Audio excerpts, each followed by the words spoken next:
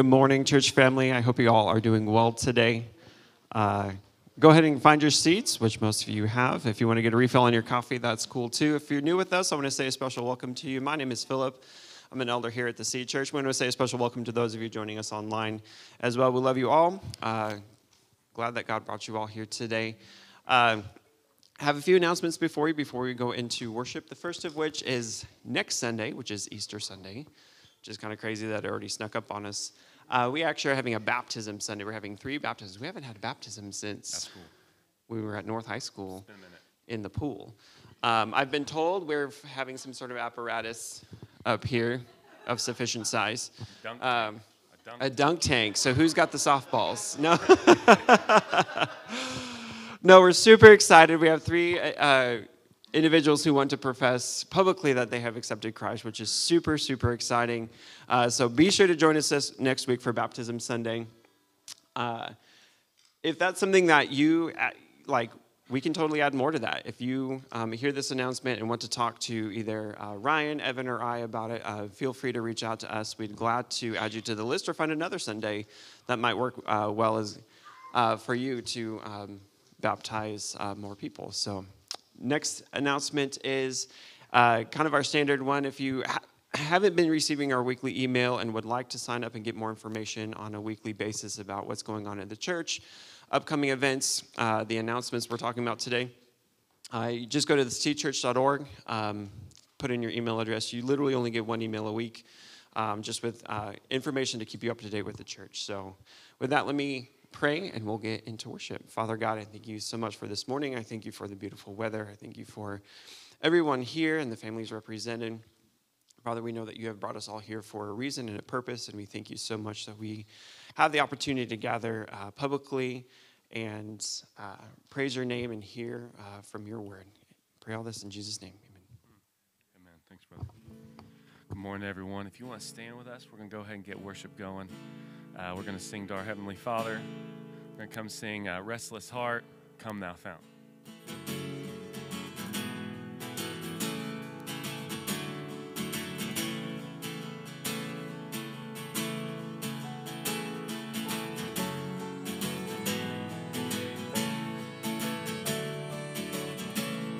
All right, sing this chorus with me. Jesus, my restless heart finds rest in you. Jesus, my restless heart finds rest in you. One more time, mean that. Jesus, my restless heart finds rest in you. Jesus, my restless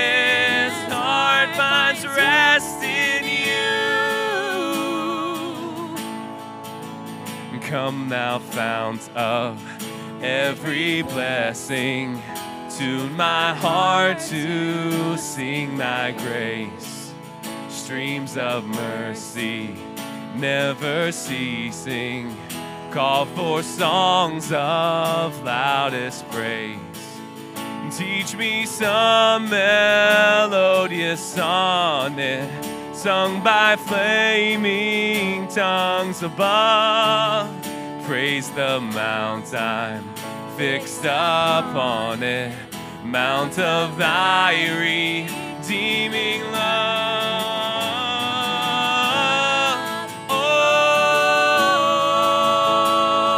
Oh, thy redeeming love.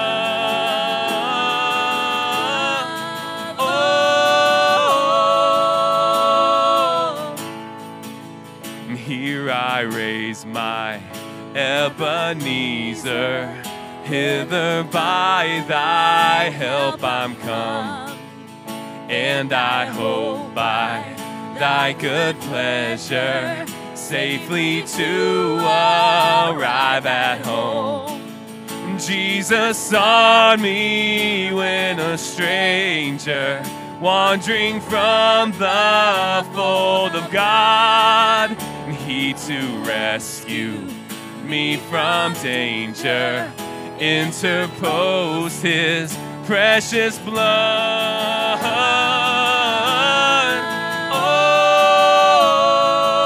Oh, his precious blood.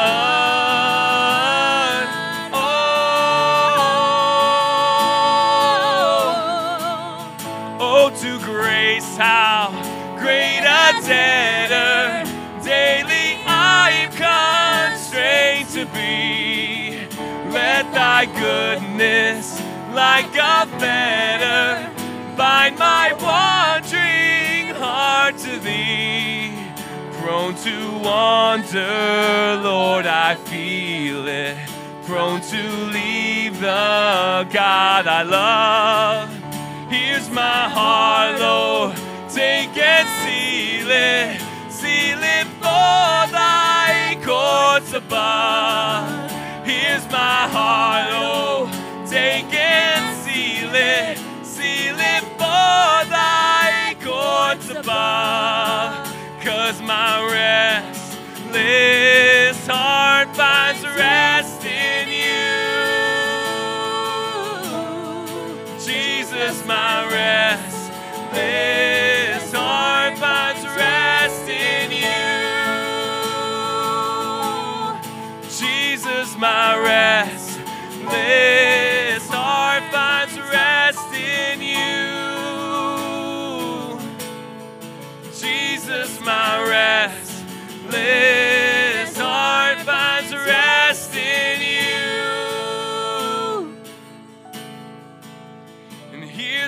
heart, Lord. Take and seal it, seal it for thy courts above. Here's my heart, Lord. Take and seal it, seal it for thy courts above. Cause my restless heart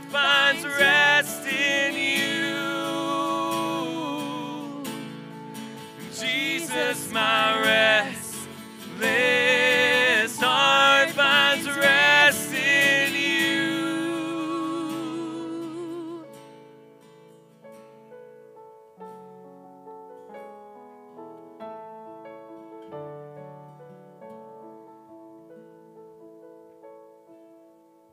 Good morning, church. Um, my name is Aubrey. If you don't know me, I'm a member here. And um, I was really struggling with what to share with you guys this week. Um, but the main thing um, has been I've just had a really rough couple of weeks, I guess, um, maybe months. I don't know. My husband can probably speak to that better than me. But um, so. So um, I think that each of us, as I'm kind of learning about Christ and growing, we I will always have this one like core sin. So I have things that that I struggle with that kind of come and go, but like there's one that has just stuck with me since I became a Christian, and for me that's my anger. Um, and a lot of people who know me are like, "You're really quiet. Like, why? That's not even a struggle, you know." Um, but as my husband can attest to, it's really bad sometimes. Um, and it kind of came to a head after I had our daughter, um, which can be pretty normal after you have a baby, but for me it was like level extra. So it was pretty bad. But um, so anyway, that's just what I've been deciding I'm going to fight. Um, and uh, yeah, I, I've been reading a lot and doing some different devotionals. And um, I think the last couple weeks I've just struggled more than normal because I have not been spending like any time in scripture. So um, I get up right before I have to be up. I don't get up early um, like I used to. And then, you know, I'm tired at night, so I just go to bed.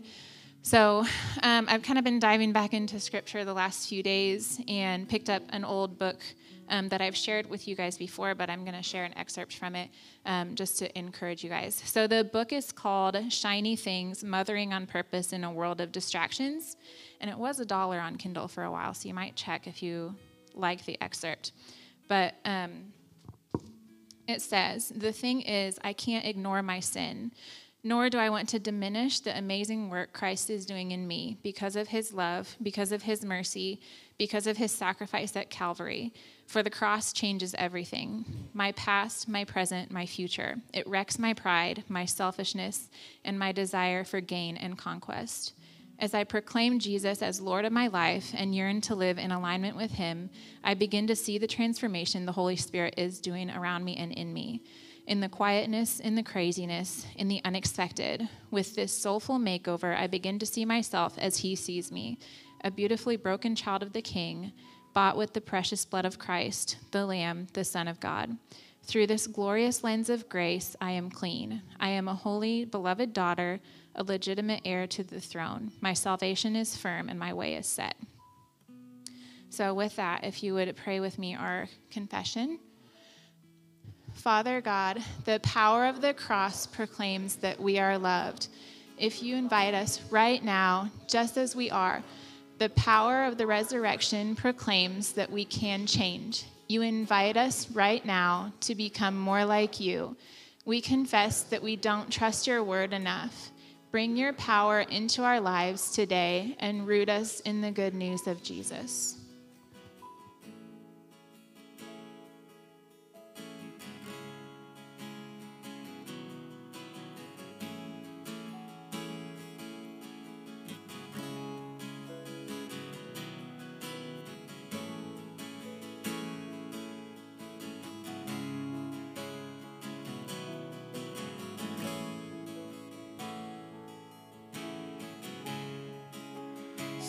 Savior, I come, quiet my soul.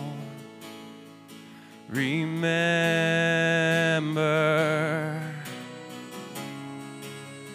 redemption's hill where your blood was spilled for my ransom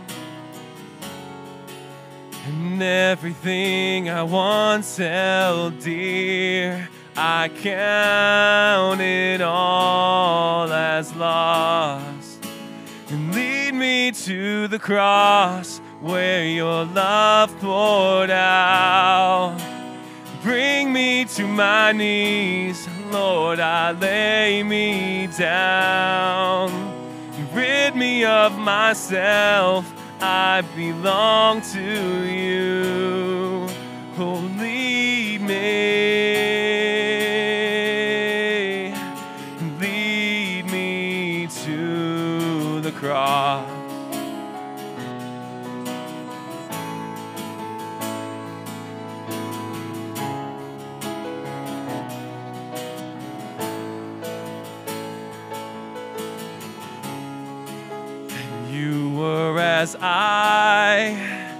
Tempted and tried.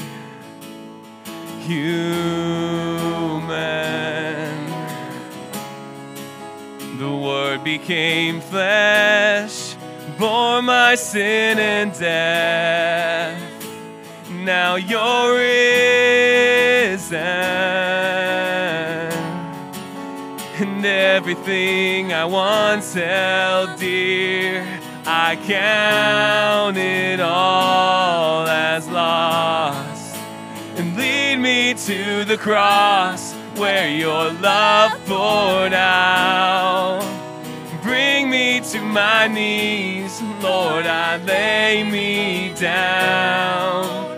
Rid me of myself, I belong to you. Lead me,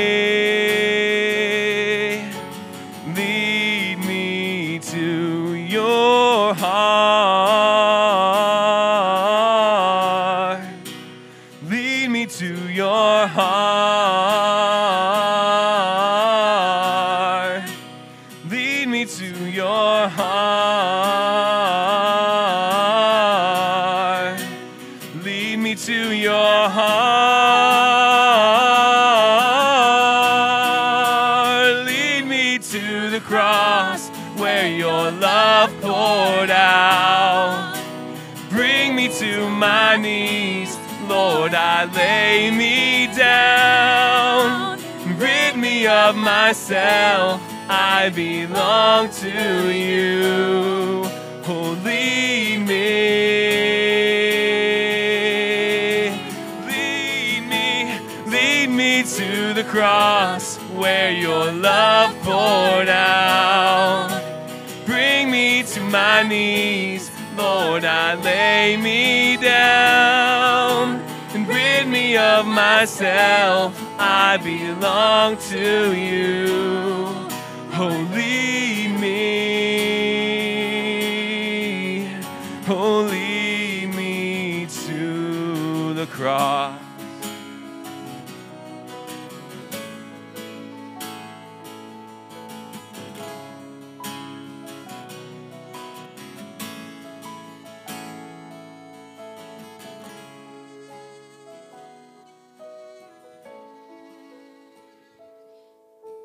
Scripture this morning is Matthew 27 22 through 23.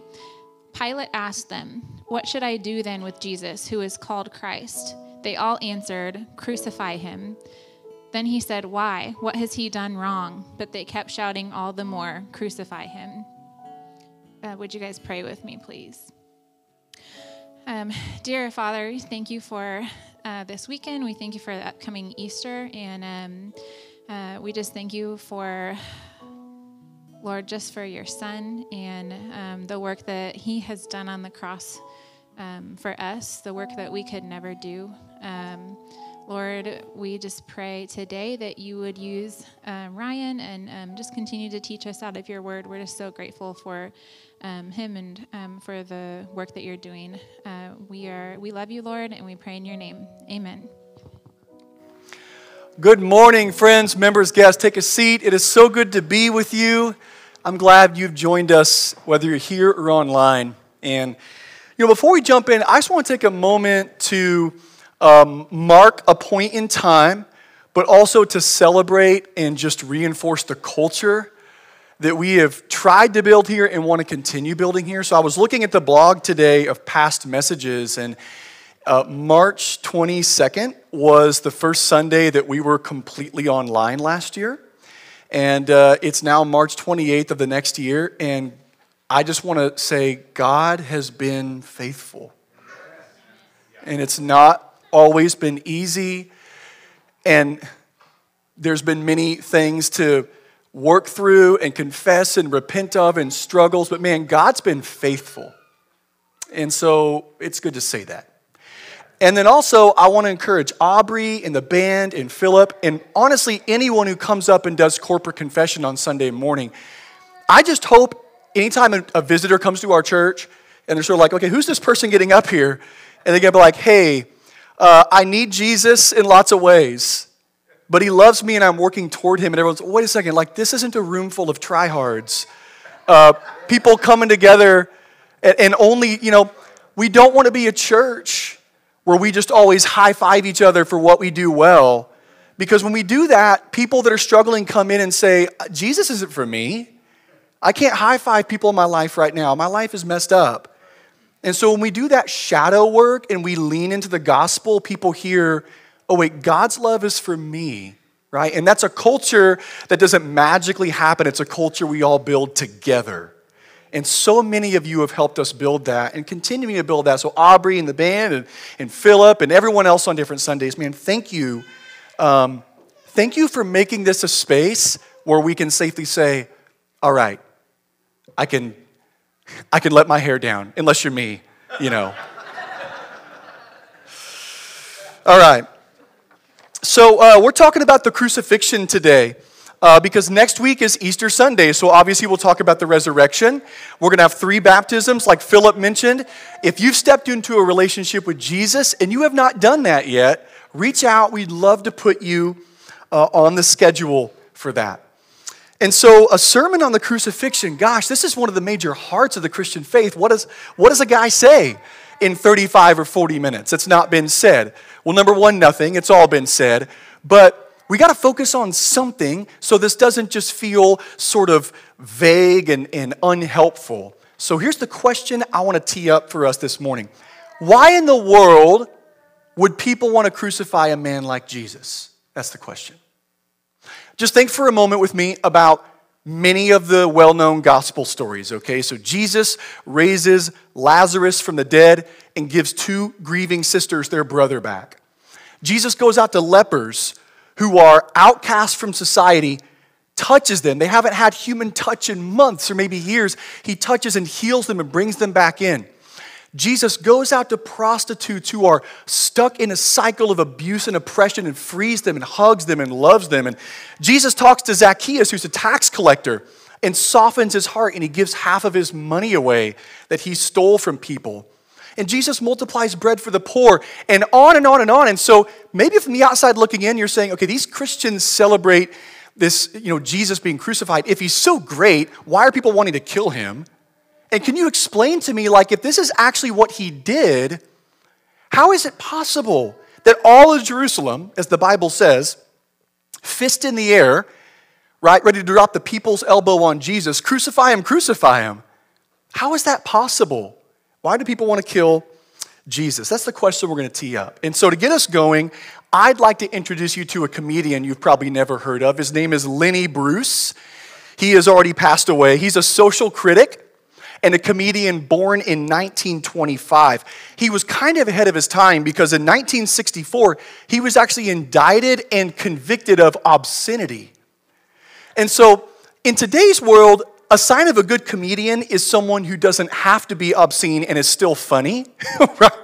Because that's hard to find today. It's like a comedian who's clean and can still be funny. Because so much of it is just, you know, like impulse, say something outlandish, you know?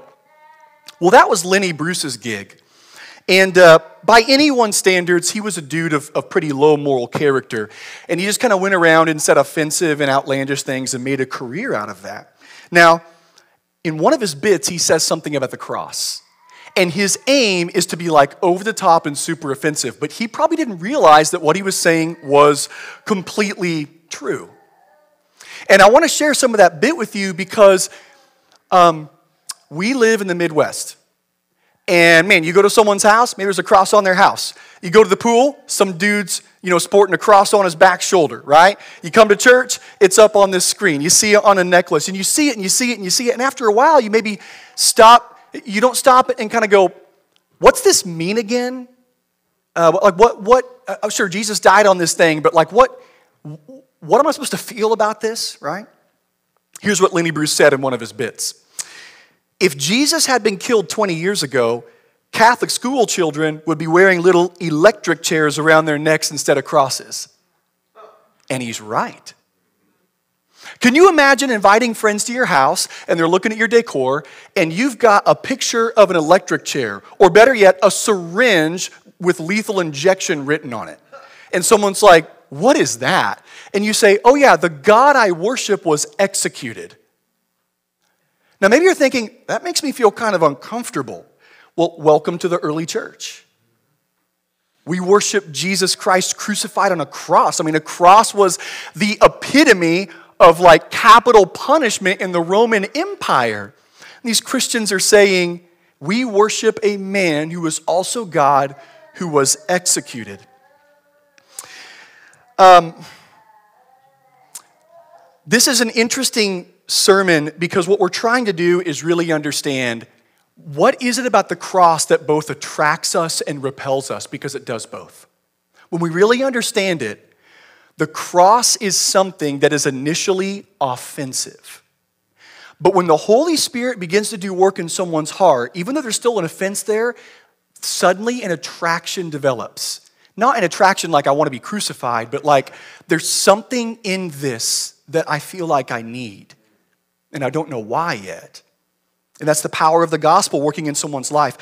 I could never prove this, maybe nobody could, but perhaps all throughout history, the biggest reason why people have left Christianity is the crucifixion. Jesus even goes so far to say, right, that if you would want to know me, you must deny yourself, pick up your cross, and follow me. Now, we read that and it feels maybe sentimental, but once again, in the spirit of Lenny Bruce, Deny yourself, pick up your noose, and follow me. Deny yourself, sit in your electric chair, and follow me. What? What does that even mean? Clearly, what Jesus is saying is hey, if you want to follow me, there are things in you that are going to have to be executed. There are certain ideas, ways that you feel, intuitions, habits, and ways of living that you're going to have to kill if you actually want to follow me, is what Jesus is saying. So, this morning, my goal is that we don't stay in just cultural religious sentiment, that we don't stay in a Hallmark movie version of the cross, but we kind of go saving Private Ryan style, right? Now, I'm not saying like we're going to get into the, you know, the, the details of what a crucifixion is. I just mean philosophically, intellectually, let's not cover this with pillows, right? Uh, so here's the three points for why in the world would people want to crucify Jesus. Number one, the claims of a king. Number two, a failure of politics. Number three, the need for blood. So the first passage is, uh, the first point is claims of a king. We're going to see that in verses 11 through 14. So follow along with me uh, out of Matthew chapter 27. I'm sorry. Matthew 27, verses 11 through 14. Now Jesus stood before the governor. Are you the king of the Jews? The governor asked him. Jesus answered, You say so. While he was being accused by the chief priests and elders, he didn't answer. Then Pilate said to him, Don't you hear how much they are testifying against you? But he didn't answer him on even one charge, so that the governor was quite amazed. Now, when I was in college, I developed quite a fondness for the 26th president of the United States, Theodore Roosevelt. In fact, enough of a fondness, maybe to weird level, that my oldest son's name is Connor Theodore McCoskey. And I thought, man, I would like my oldest son to embody being a dude who can talk intellectually on the East Coast and then go build a fort in North Dakota and, you know, kill a mountain lion with his bare hands or something. And um, I read a lot of uh, uh, Teddy Roosevelt biographies in college and just loved it. And one story in particular really caught my attention that's just amazing. So, on October 14th, 1912, Teddy Roosevelt was preparing for a political speech in Milwaukee.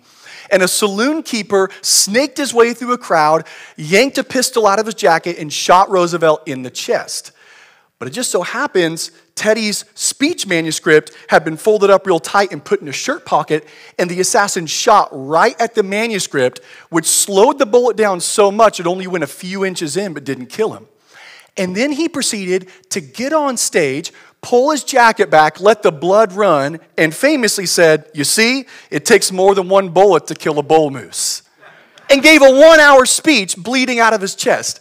Now, I just want to say if any of you aspire to politics and you want to show you can go the extra mile, do that. I mean, like, once that happens, it's like this guy, he's got it in him to see this through, right? Pretty crazy.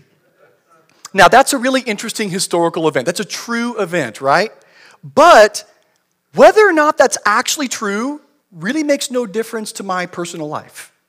It's just an interesting historical tidbit. And in fact, there have been lots of great people in the past. We could go through lists and lists of great men and women of the past. But whether or not what they said about themselves is true really doesn't affect me. I mean, Martin Luther King Jr. said a lot of things about himself in the world, right? But what he says about himself, what he said about himself, whether or not he was lying or telling the truth, doesn't change my personal life. George Washington, Genghis Khan, you know, Madame Curie, we go on and on and on. But it doesn't work that way with Jesus, does it? There's something unique about Jesus that when we slow down and read the Gospels and process what he says about himself, man, if these things are true, it begins to poke into my personal life in maybe a pretty uncomfortable way. Let's illustrate this together and just look at three of Jesus' famous I am statements. And by the way, you know, the Bible, historically speaking, from historicity, it is the most historically verified ancient uh, work in world history. We have more full copies and extant fragments of ancient New Testament than any other uh, ancient work by a huge amount. I'm not talking by a few copies, I mean thousands. And then we have the writings of Pliny the Younger and Josephus, the Jewish historian, who were contemporaries of Jesus and were writing about a man named Jesus causing a stir as extra biblical resources. So, no real scholar today says maybe Jesus wasn't real, or maybe Jesus wasn't like someone who caused an enormous stir in Palestine. Like, this is all historically verified within the Bible and extra biblical sources, right? And so these are things that Jesus said about himself that the eyewitness accounts put down. Number one, just three of them I am the bread of life. Number two, I am the light of the world. Number three, and the most offensive, I am the way, the truth, and the life. Now let's just slow down and ask ourselves what, what, does these, what do these mean? What is Jesus saying? So when Jesus said, I am the bread of life, read that in context. Here's what Jesus is saying You need my wisdom and presence in your life so bad, you need me like food. MLKJ never said that about himself. Abraham Lincoln never said that. Harriet Tubman never said that. None of these great people ever said, You need me as much as you need your next meal. Second one, I am the light of the world, not, not a light in the world, the light of the world, which is to say, if you're leading your life and you think you're walking in wisdom, but you don't have a close relationship with Jesus, he's saying you're in darkness. If you don't know me, you're walking in the dark. That's kind of offensive. You can't say that to me, Jesus, unless he's God. But if he's not, get that guy out of here. What about I am the way, the truth, and the life? The next words out of Jesus' mouth in John chapter 14 is No one comes to the Father except through me. So Jesus is literally saying, If you don't know me, you cannot know God. Now that is pretty offensive in every culture, including ours. What are you talking about? This is the first point of why Jesus was crucified. Because he did all these wonderful things, but as people listened more and more to Jesus, they realized, I don't like what you're saying. I don't want to change my life. I don't want to need you. Uh, this whole thing that I have to kind of like grovel before you for help, I think I'd rather just silence you. Now, a quick note here on something cultural. When people hear this outside the church, I think it's very common for them to say, you know, and I understand it. If I was on the outside, I'd feel the same way. Like, these Christians are so narrow. They're so narrow. I mean, just like, I gotta have Jesus, and He's the way, the truth, and the life. And it's like on and on and on. It's like, man, like just widen the doors a little bit and don't feel so judgy. And what I want to do is, is if you want to critique Christianity, there's much better ways because this one really isn't logically sound. And let me tell you why. When, when uh, Ashley and I traveled to Ireland, you know, there's places where you're looking at a map or we could talk to a guide and they would say things like this There's really only one way to get to this part of the island. I mean, I've lived here a long time. So you could go this way, you're going to get lost or whatever. You go this way, you know, you go off the cliffs of Moher and die. And, and you go this way. So you've got to go this way. Now, at that moment, here's what Ash and I could do. We could have said, unbelievable. You are so narrow. There's only one way to get there? Come on. You see, what I'm, what I'm trying to point out is like, Christianity is not narrow, it is what it is. Either these things Jesus said is really true, and then we have to slow down and ask some really hard questions, or they're not. If they're not true, Jesus is a con man. He's not a great moral teacher, like any of that stuff that maybe Jesus isn't the only way to God and he's just a good teacher. Listen, good teachers don't pretend to be God. That's called crazy people. They need to be locked up. Really? So uh, it really isn't narrow. We just have to kind of decide is this man Jesus, does he have the authority, the consistency to say these things to me? And so that's reason number one why people will want to crucify Jesus. Number two was a failure of politics. Verses 15 to 23 in Matthew 27. At the festival, the governor's custom was to release to the crowd a prisoner they wanted. At that time, they had a notorious prisoner called Barabbas. So when they had gathered together, Pilate said to them, Who is it you want me to release for you, Barabbas or Jesus, who is called Christ? For he knew it was because of envy that they had handed him over. While he was sitting on the judge's bench, his wife sent word to him Have nothing to do with that righteous man, for today I've suffered terribly in a dream because of him. The chief priests and the elders, however, persuaded the crowds to ask for Barabbas and to execute Jesus. The governor asked them, Which of the two do you want me to release for you? Barabbas, they answered. Pilate asked them, What should I do then with Jesus who is called Christ? They all answered, Crucify him. Then he said, Why? What has he done wrong? But they kept shouting all the more, Crucify him.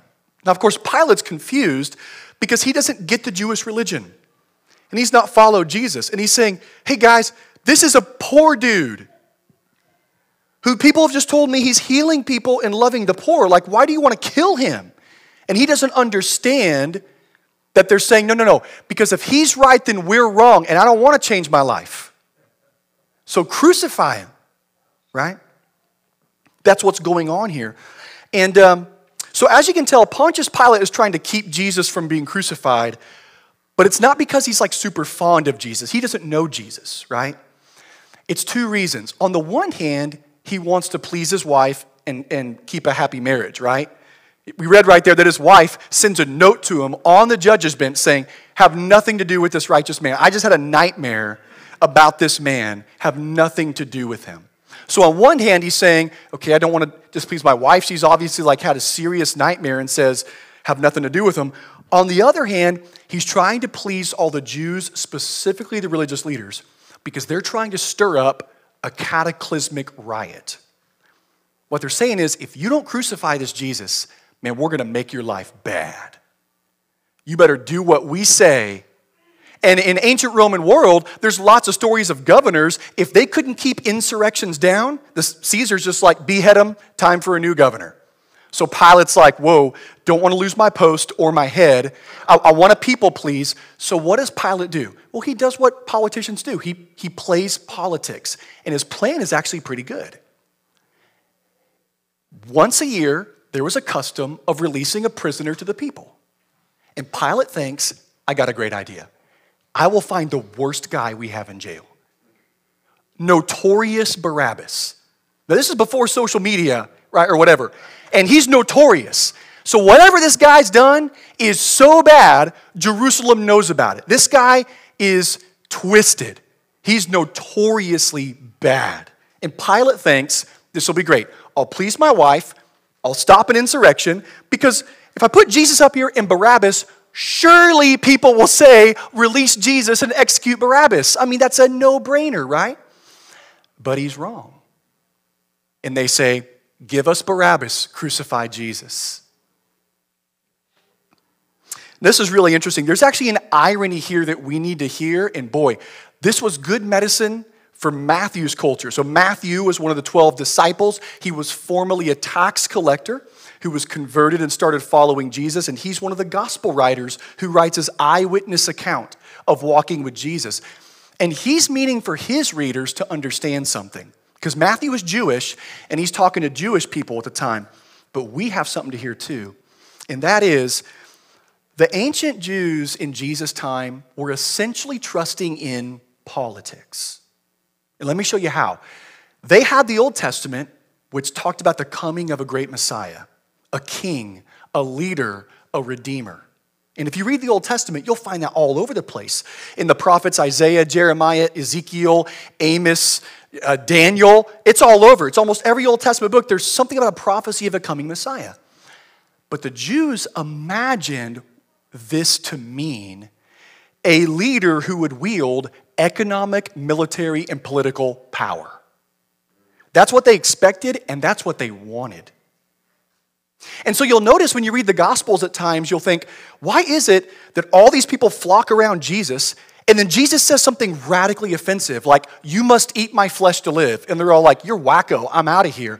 Is because the Jews were hearing reports, there's a man on the scene who can heal, and they're going, this might be our Messiah oh boy, it's time to throw down those Roman jerks. This is it. He's going to brandish a sword. He's going to bring Israel back to be an economic powerhouse. If we can just get the right leaders in office, we're going to change the world. Just get the right leaders in place, and the world's going to be a better place. We just need this Messiah to be here. And so now that he's up in chains next to Pilate, the Jews are saying, You're pathetic. We don't want you. Come on, if you're a real Messiah, throw a revolution. Get a sword, kill Pilate and the Romans, and let's put Israel back on the map. We need a military, we need power, we, we need these things to, to be redeemed. And so Jesus isn't about that at all. He's redeeming people from sin and death, not from Romans, not from some worldly power, right? And so here's the irony of this Though the Jews are trusting in politics to make the world a better place, notice here the power of politics isn't even enough to protect an innocent man and to condemn a guilty man. Pilate plays politics. Jesus gets crucified, Pilate gets out. And so, just like a word to love on us, if you've ever been in the book of Daniel, something I noticed for the first time in my life recently, I've read Daniel several times, but when Shadrach, Meshach, and Abednego get thrown in the fiery furnace, if you don't know that story, read the book of Daniel, right? You're like, what are you talking about, Ryan? I've just signed you up to read a book of the Bible. Go read it. You know what I'm talking about. So they get thrown in this fiery furnace, and God protects them. And when they come out, Nebuchadnezzar, the king, who's the greatest king over all the world at this point, the, the known world, he sees that these three men get saved. And here's the edict he gives He says, If anybody in my kingdom disses the God of Abraham, Shad, uh, uh, uh, Abraham, Shadrach, Meshach, and Abednego. Thank you. Sorry about that. If anyone disses the God of these men, they will be torn limb from limb. Now, maybe you'd think, wow, what a win. We have a God-fearer in office. What a win. If you don't listen to God, you're going to get torn limb from limb. Give it one generation and it all goes away. And then it happens again under King Darius. And it happened under the Pharaoh with Joseph. And what's the Bible saying to us? You can't trust in this. You can't trust in politics like that. Sin is too deep. It doesn't work that way. And America's even crazier, right? Because you get four years or eight years. And it shifts and shifts and shifts and shifts. And I, sometimes as Christians, we get so tied up and, and we're biblically illiterate we're not reading the Bible and saying, listen, what if a president got up and said, if anyone disses Jesus, we'll tear you limb from limb? Sweet, we've got it. We're all going to follow Jesus now. No, we're not. Give it a generation.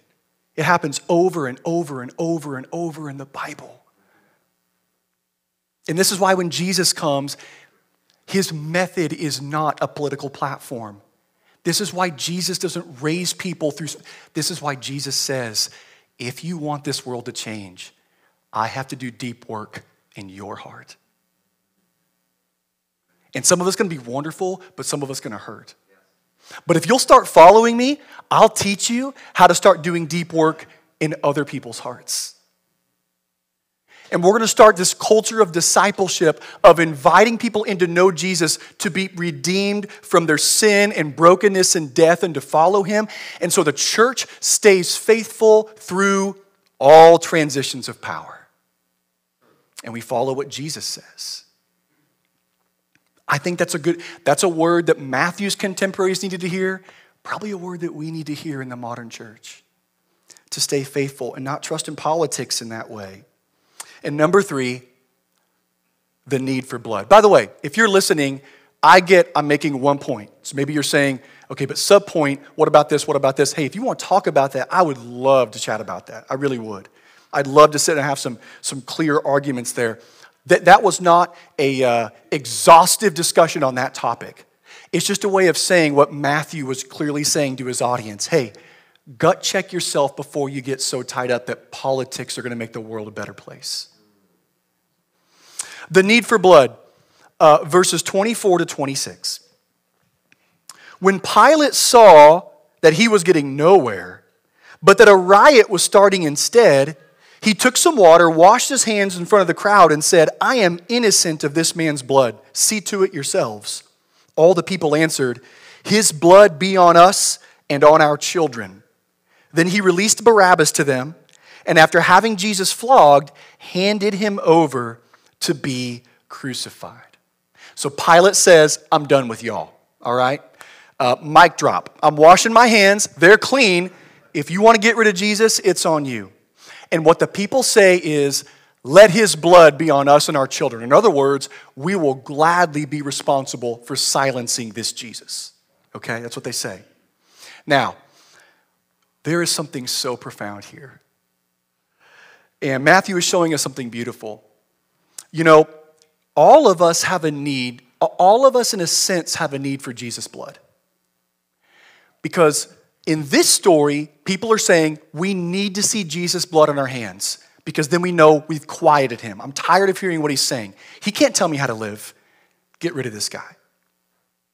But when someone starts becoming a Christian, do you know what happens?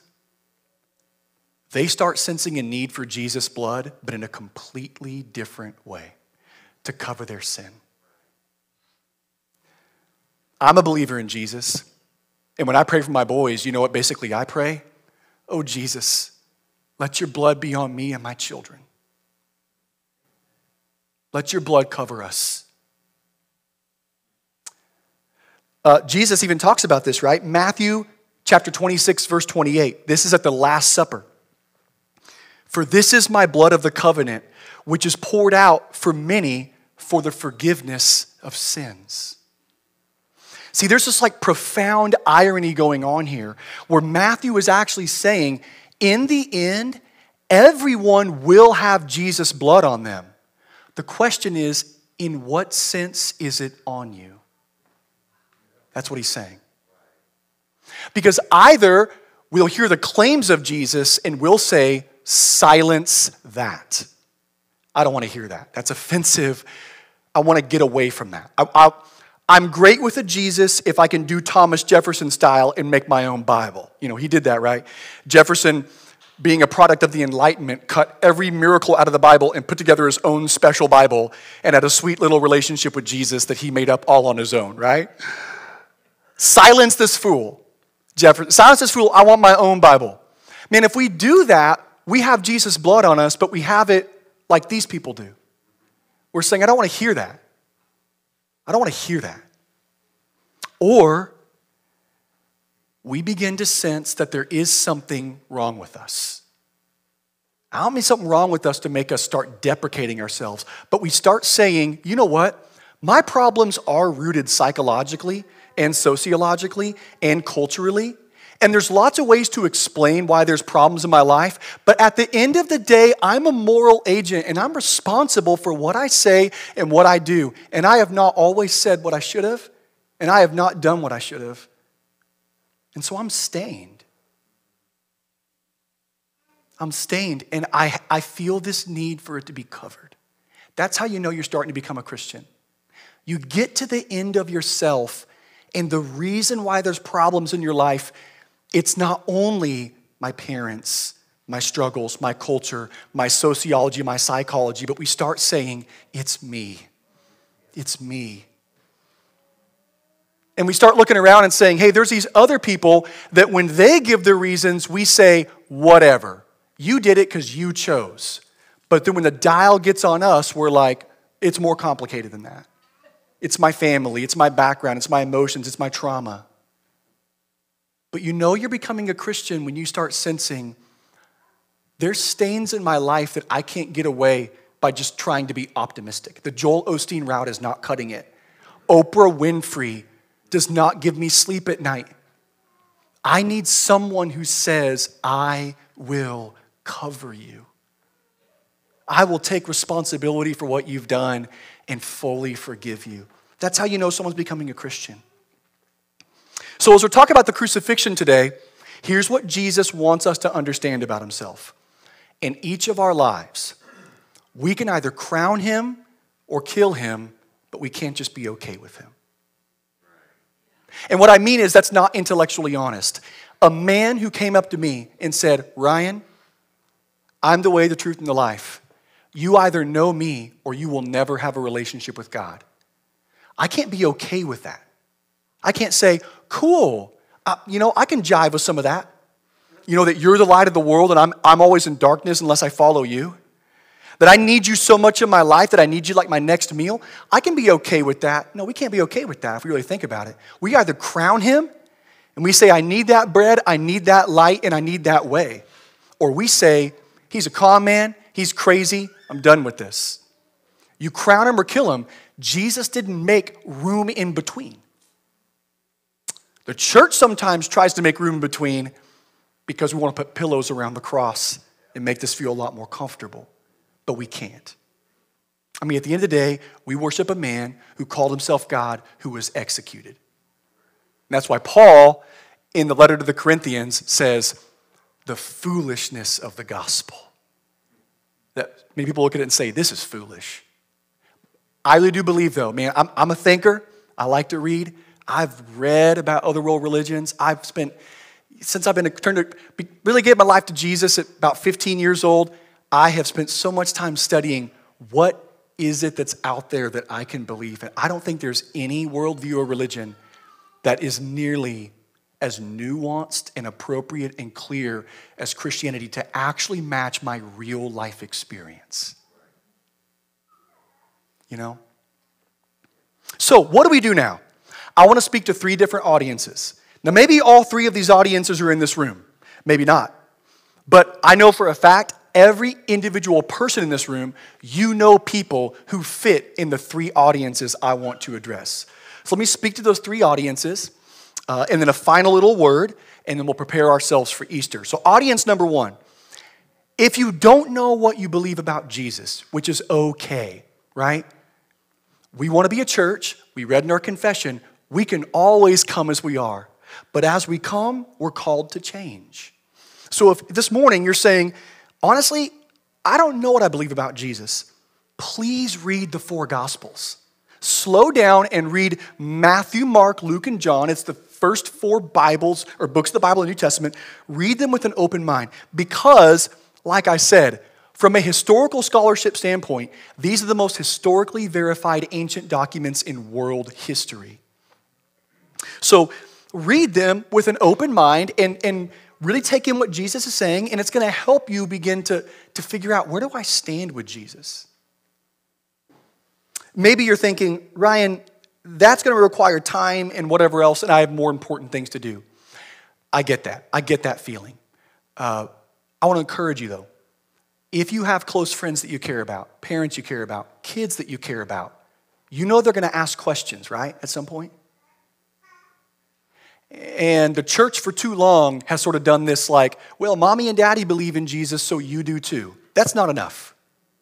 Kids want to think.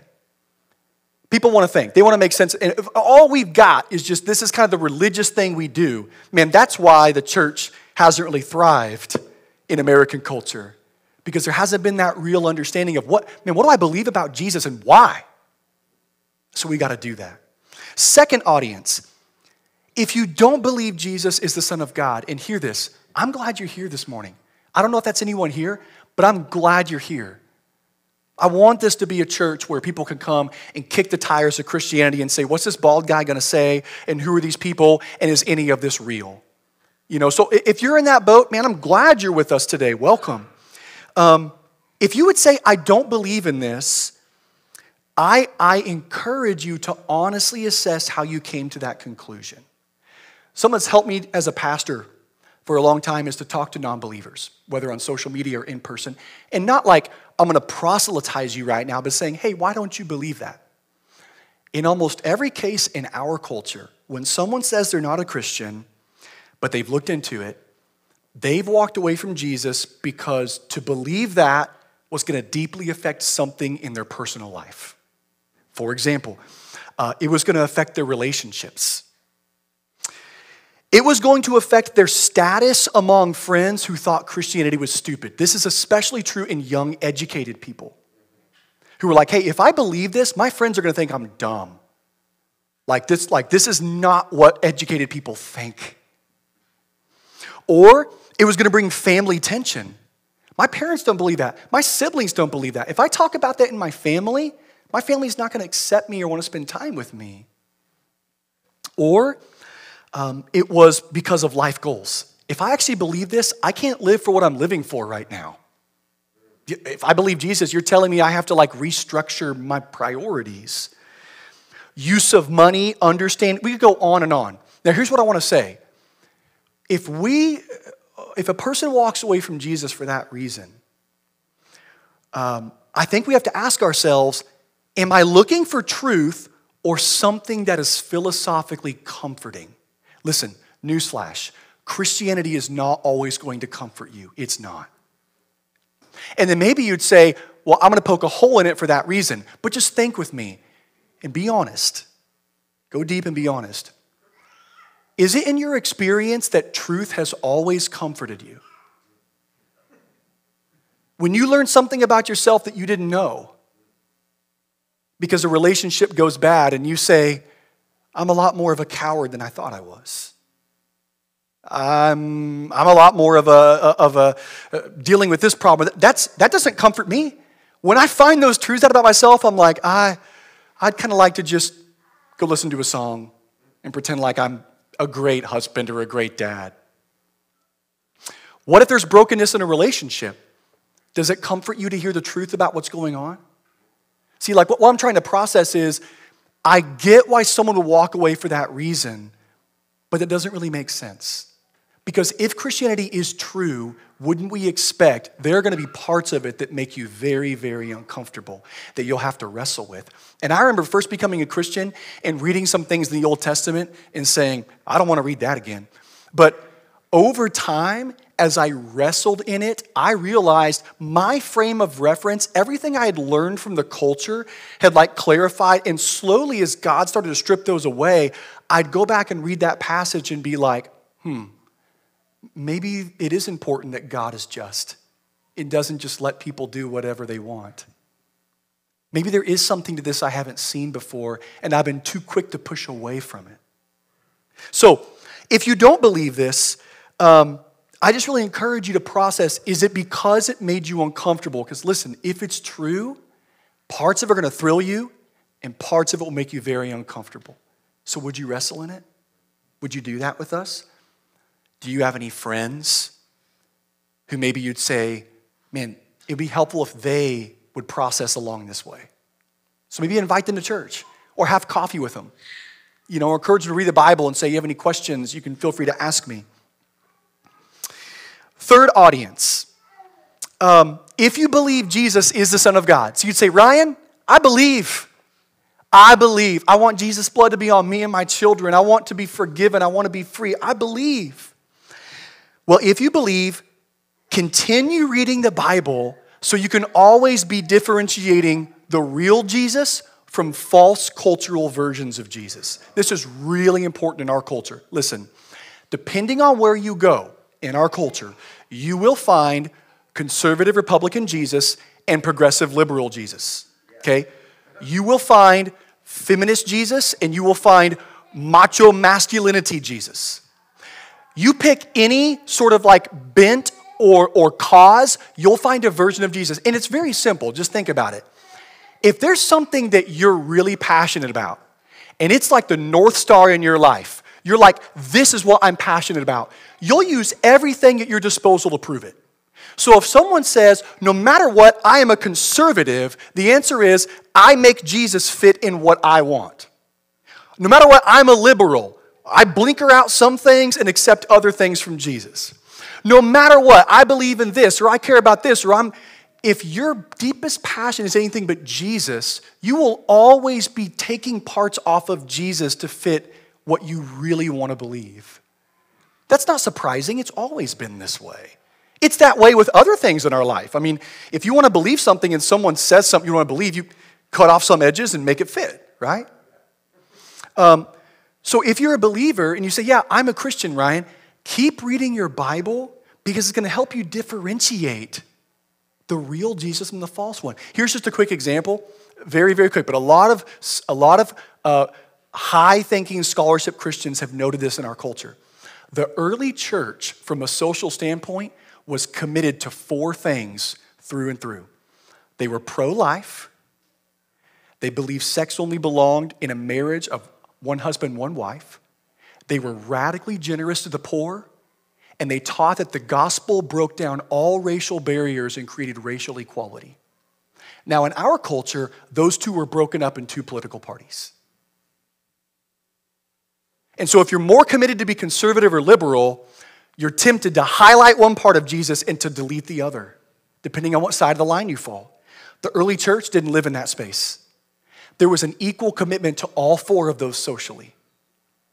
Now, that's going to be hard to fight for in a culture like ours because, listen, friends, if we decided we want to walk that road, you ain't making anybody happy. You ain't, I mean, nobody. You're, going to look like an enemy to everyone. Everyone's like, why aren't you on our side? Why, aren't you with us? That's what Jesus' disciples felt too. So if you're if you say, I'm a Christian, Ryan, keep reading your Bible so you can differentiate what Jesus really taught and said from cultural versions of him. Um, And also, if you're saying you're a Christian, that means you've accepted the responsibility of helping other people know him and representing his character. Oh boy, that's a tall, that's a tall glass. When you don't represent his character, and I don't, I don't on a regular basis, I just don't. I can stand in the shoes of my sweet sister Aubrey and get up and say, hey, there's things. There's things that Jesus is always working on. So what do we do? We repent together. We repent and we follow him and we, we walk after him and we don't just say, hey, it's, it's my way and, and uh, you know, out with Jesus. And also, if we want to help other people know Jesus, boy, we cannot belittle other people who don't know him. We got to be careful not to belittle other people but to really engage and listen and process. Okay, last little point about Jesus, and then we'll close and, and move toward Easter. The focus today was why would people want to crucify Jesus? And we looked at that. Because the claims he made as a king, because of failure of politics, and a need for blood. But here's the last question I'll ask with a very small answer Why did Jesus choose this? Because the, the Bible says that Jesus was not bamboozled or shanghaied. He chose to come, he chose to carry this cross, he chose to die. And he's God. Father, Son, and Holy Spirit. He has everything. Why in the world would he come do this? You know, the one thing he didn't have was you and me. That's the one thing Jesus didn't have, was us. And that's why the prophecy in Isaiah 53 says that the, the suffering servant, he suffers with joy because he knows he's accounting many as righteous, which means by his life and death, he's making us righteous so we can be with him and have a relationship with him. God, Jesus had everything, he's God. He didn't just leave heaven to glorify the Father. He could have glorified the Father just fine in heaven. He came to carry that cross because he didn't have you. He loves you. He loves you. You need to hear that. So, friends, this week as we approach Easter, all right? Next week, it is like religious holiday soup du jour, right? I mean, Easter and Christmas. It's like, even if you don't even know anything you believe, this is just kind of what Americans do, right? We, we just, we go to these things. This week, slow down and maybe ask yourself a question, right? Why do I believe these things? Do I believe these things? What, what things don't sit well with me that I actually have some real objections I need to work through? Listen, friends, the church should be a great place to ask questions, and it needs to be. But hear me, please hear me. I've talked to a lot of young people who have said, Man, I don't go to church because you can't ask questions there. But the more I dig, what I begin to understand is they're saying, I need a community where when I ask questions, I don't get uncomfortable answers, and everyone just agrees that, well, we probably don't know, so let's all just ask our questions. That's not Christianity. I mean, I can't find a place in the Bible where someone goes to Jesus or an apostle and says, How do I live my life? And they say, Let's just keep asking questions together. There's, there's no real clear answers. Let's just keep asking questions. I think a lot of young people are hungering for that.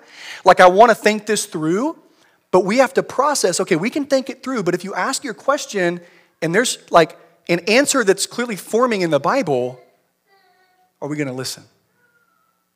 So let's, let's just be a place that we can ask questions, but we have to process through the lens of Scripture together. So, friends, I love you. So glad to be with you. I'm, I'm passionate about people knowing Jesus, the real Jesus. And we got to be passionate about that together. And so next week we're going to celebrate some baptisms, invite some friends to church. Maybe we'll hang some chairs from the ceiling. Philip Zevenbergen's on that. He already said just zip lines and all sorts of things in here. Uh, it follows city code, I promise. Um, no, I'm kidding, but I love you guys to come and just hang out and do that and celebrate the resurrection of Jesus next week. Friends, pray with me and then we'll do communion. Father God, thank you so much for this morning. Thank you for these wonderful friends. God, thank you for the truth and power of the cross. And God, I pray that all of us, as we seek to know more about you and your word, God, and to take your claim seriously, that the, the way that your blood would land on us would not be as those who seek to silence you. But God, we would with humble hearts say, let his blood be on me and my children to cover us and forgive us of all sin. God, bring your Holy Spirit to open our eyes to who you are. And God, help us to not be stuck in sentimental or cultural versions of Christianity. God, give us hearts of compassion for others.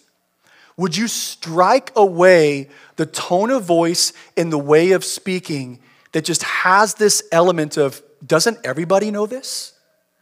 God, get rid of that out of our hearts. Would you make us missionaries to others? Would you help us to stand in others' shoes and to understand that this is offensive? And God, even if we've been Christians for 20 years, if we think about it, you're still offending us. God, there's still times you come in my life when I'm working through some of my kids or my marriage or my church, and I can feel your spirit saying, You need to change, Ryan, and that offends me. But Jesus, if I want to follow you, you say I have to deny myself and pick up my cross, which means I'm always working on executing things in me that aren't supposed to be there. Even when I think with everything in me they're supposed to be there. God, give us eyes to see your word, to understand you and, in love and compassion and understanding for each other.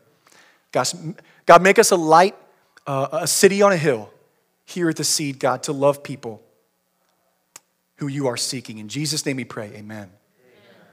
Brothers and sisters, take your communion out, and if you've not done this before or joined us, you can open the clear flap on top and get your wafer. In the Bible, there's something called the Last Supper. It's right before Jesus dies. He breaks some bread and lifts up some wine, and he says, Eat of my body and drink of my blood for the forgiveness of sins. If you're a believer this morning, you say, I believe in Jesus and I need him like I need my next meal. Let's eat of his body together. Open your juice, which represents the blood of Jesus Christ poured out for the forgiveness of sins. And just listen as we do this.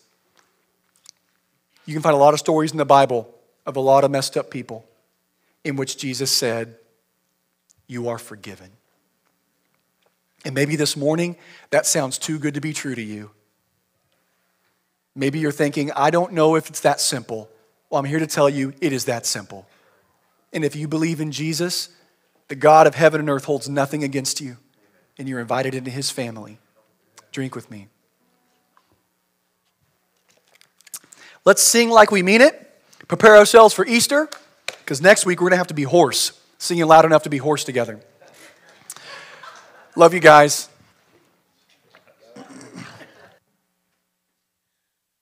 Thanks, brother. Oh, sorry. Church family, thinking about the crucifixion, thinking about what our Savior is going to be enduring on Good Friday throughout this week. Uh, at least I will be. Um, that's heavy. That's a lot.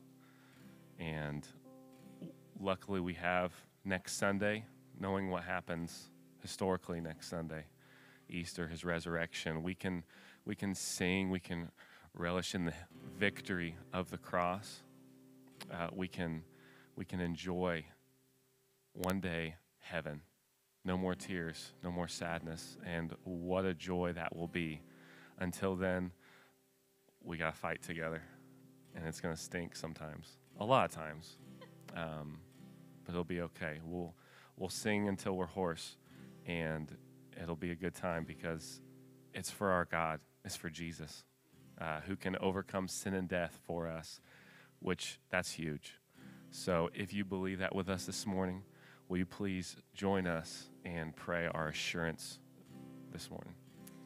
In the person of Jesus Christ, we have redemption, the forgiveness of sins. So, Lord, for the sake of your great name, for the sake of your eternal glory, forgive our sins, for they are too numerous to count. Thank you for being so rich in wonderful mercy.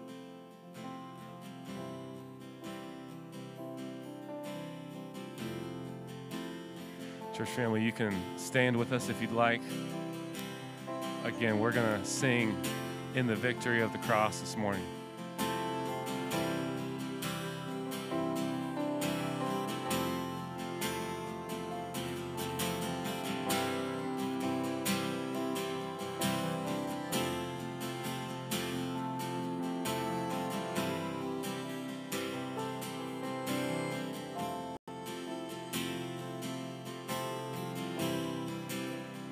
I will not be anxious. Cause Jesus, you are near. The peace of God surrounding me. And casting out all fear. Hand that holds the heavens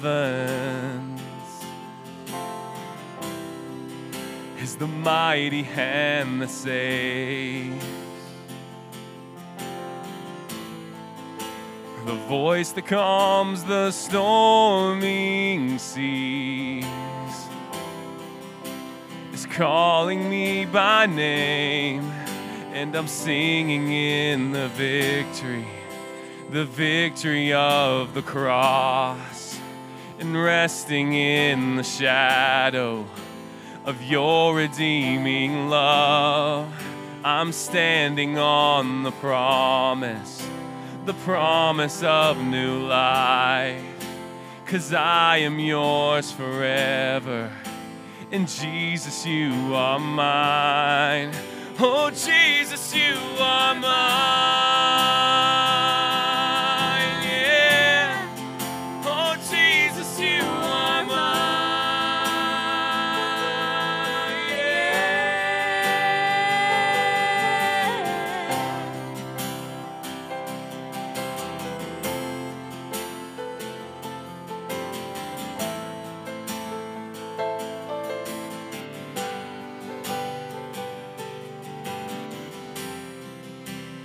When I have forgotten too many times the fullness of your grace. Yes, I remember Calvary. And when you took my place, I'm singing in the victory, the victory of the cross, and resting in the shadow of your redeeming love. I'm standing on the promise, the promise of a new life. Cause I am yours forever. And Jesus, you are mine. Oh, Jesus, you are mine.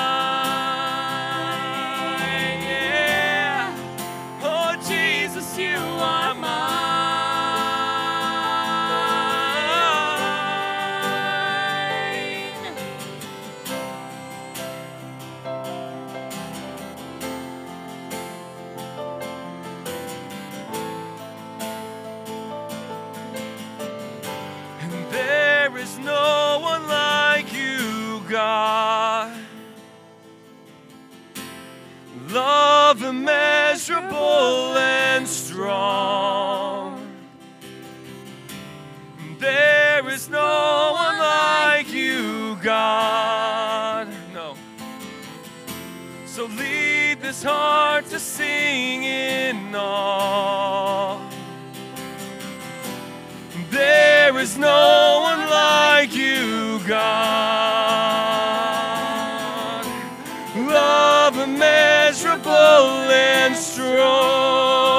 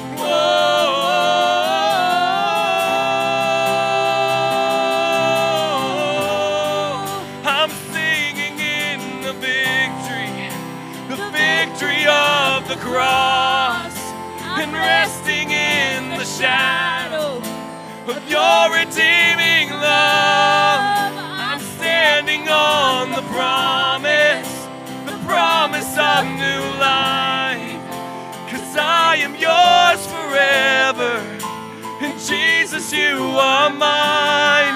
And I'm singing in the victory, the victory of the cross. And resting in the shadow of your redeeming love. And I'm standing on the promise, the promise of new life. Cause I am yours forever. And Jesus, you are mine. Are mine.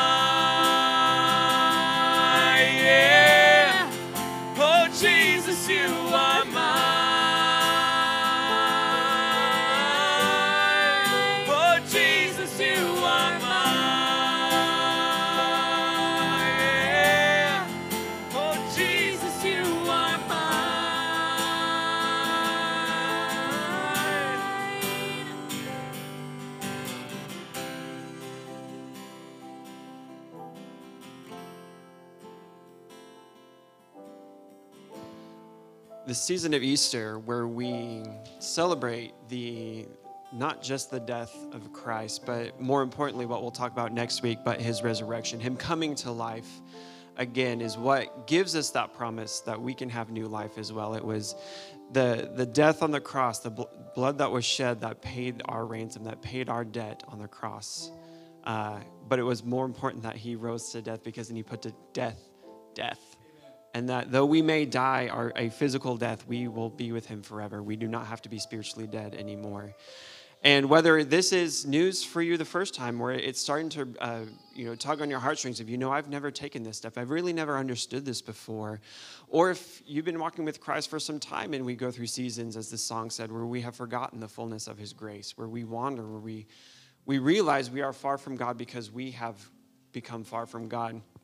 I ask you to take take a moment this week, even just find, pull Evan Ryan aside after church. We can find a time to meet with you, talk with you, pray with you. We'd love to walk through whatever season of life that you're, in. As we've said before in this church, it's, you know, Christ allows you to come as you are, but you're not expected to stay there. Um, if you are going to follow in Christ, there is change. Um, one, there's change that can happen. If you're in a space where you think, I can't be any different, that's completely untrue. Um, through Christ, there is change that's possible. And if you are following Christ, there is change that is to be expected, not for you to do on your own, but for the Christ to do through you. So talk with Evan, talk with myself or Ryan. We'd be glad to, knowing it's a little bit crazy after church, even to say, hey, can we find a time for us to meet this week or something? We'd be glad um, to sit down with you, talk with you, walk with you through this. Um, and so, yeah, that's all I'll say with that. So let me pray and we'll be dismissed. Father, I thank you for I thank you for the cross. As cliche as that sounds, Father, I really do. It is a reminder that I don't have to pay my own debt. I don't have to do any work to be forgiven. Um, I can't do any work to, to cover my sin. Um, Father, I thank you that you truly do allow us to come as we are, that you sent Christ to be our high priest, to suffer and to die, and to live as a human, to understand and sympathize with us as we are tempted. But as he lived without sin, he is our perfect sacrifice. He paid the full price on the cross. Not that we can live and worship a, a cultural Jesus or a political Jesus, but he actually he calls us to be more and to live our life for Christ, to live the life that Christ lived and to be set apart from this world. And He gives us the strength to do that. And I thank you that we we are called to join you in your mission in this world, and you give us the strength and you equip us to do all that you ask us to do if we are willing. Father, pray in this season of Easter that we don't just get caught up in, in the cultural celebration um, that comes with it. Um, thank you for the opportunities to celebrate with family and friends and all of that. But Father, I pray that we slow down for a moment. I really feel the weight of what your son went through, but also to fully rejoice in the redemption that we can have and that we do have in Christ. I pray all this in Christ's name. Amen. You're dismissed, church.